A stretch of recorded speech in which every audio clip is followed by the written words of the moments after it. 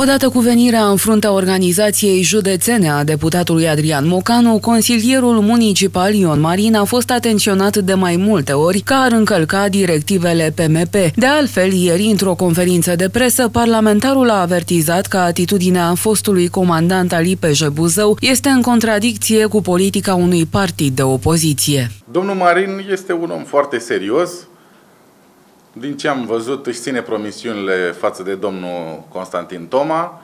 Uh, vrea să ajungă șeful poliției locale. Noi îi urăm succes, îl susținem cu tot ce putem. Astăzi, printr-un comunicat de presă, liderii PMP Buzău au anunțat că au început demersurile pentru excluderea din partid a fostului candidat la funcția de primar. Gestul de azi care a pus capac noii conducere a fost faptul că Marin a rămas la ședința extraordinară a Consiliului Local Municipal după ce aleșii opoziției au decis să părăsească sala în semn de protest. Marin este acuzat, printre altele, că a devenit sluga edilului șef Constantin Toma. Nu, eu n-am votat nici cu Toma, nici cu PSD. Eu am votat în funcție de interesul nostru, al cetățenilor, pentru că, la fel ca toți ceilalți, și eu sunt plătitor de impozite și taxe, de utilități și așa mai departe.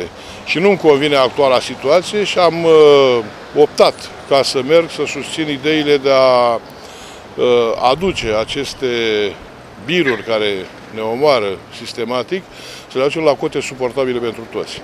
Cât despre o eventuală excludere a sa din PMP, Ion Marin susține că hotărârea nu aparține organizației de la Buzău, ci liderilor de la nivel național. O conducere impusă, nealeasă și cu ocazia asta îi recomand domnului președinte Adrian Mocanu să citească statutul PMP-ului. Eu sunt membru în Comitetul Executiv Național al PMP și o eventuală excludere a mea poate fi dictată doar de către forul central de conducere, nici de cum de organizația județeană. În cazul în care se va ajunge la excluderea sa din partidul lui Traian Băsescu, Ion Marin își va pierde calitatea de consilier local. Ar avea însă o alternativă pentru a continua activitatea în administrația buzoiană. Se află în cărți pentru preluarea șefiei poliției locale. Deși se vorbește de foarte mult timp, am tot primit felicitări, inclusiv în momentul de față primesc asemenea uh, urări de bine, dar nu am avut până în momentul de față o ofertă certă.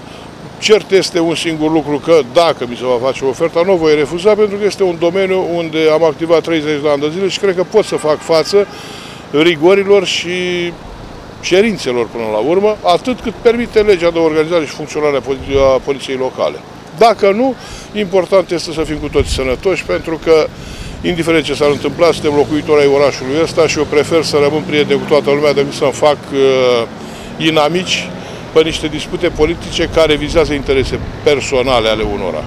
Deși este conștient că nu poate colabora cu noua conducere a PMP, consilierul local Ion Marin a menționat că nu are de gând să își dea demisia din partid, în ciuda presiunilor care se fac în momentul de față.